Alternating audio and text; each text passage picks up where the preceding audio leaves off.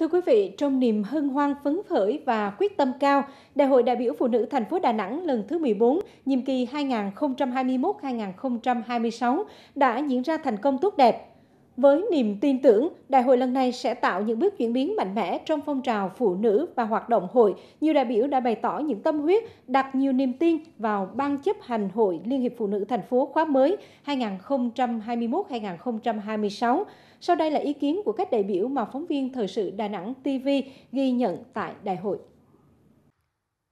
Ngay sau Đại hội đại biểu phụ nữ thành phố Đà Nẵng lần thứ 14, nhiệm kỳ 2021-2026 thành công, nhiều đại biểu phụ nữ Đà Nẵng đã thể hiện tinh thần quyết tâm cùng các đại biểu phụ nữ cả nước làm nên một kỳ Đại hội đại biểu phụ nữ toàn quốc lần thứ 13 thành công, mở ra một nhiệm kỳ hoạt động với sức bật mới, tiếp tục đổi mới mạnh mẽ.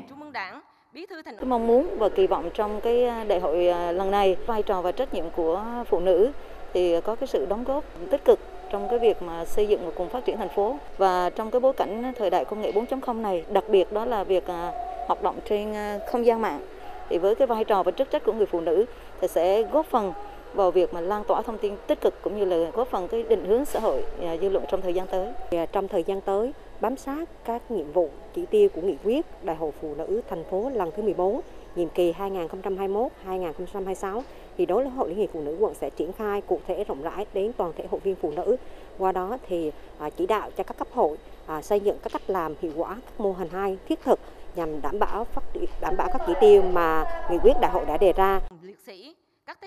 Theo đó, các cấp hội phụ nữ thành phố phấn đấu xây dựng người phụ nữ Đà Nẵng tự tin, có kiến thức, có đạo đức, có sức khỏe, đoàn kết, năng động, sáng tạo, có lối sống văn hóa, có lòng nhân hậu, khát vọng phát triển, tích cực tham gia đóng góp ngày càng nhiều hơn, chủ động hơn vào công việc xã hội và gia đình, tham gia xây dựng tổ chức hội vững mạnh, phấn đấu đến năm 2030 khẳng định vị thế tổ chức tiên phong hành động vì hạnh phúc, bình đẳng và sự phát triển của phụ nữ, góp phần thực hiện thắng lợi mục tiêu phát triển chung của thành phố.